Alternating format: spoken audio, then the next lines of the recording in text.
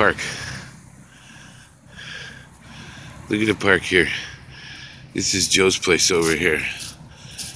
I'm walking over towards, but fucking cool, eh? I like that. It's like a huge smoke session. This is what my apartment looks like on Saturday morning. you can't even see the TV.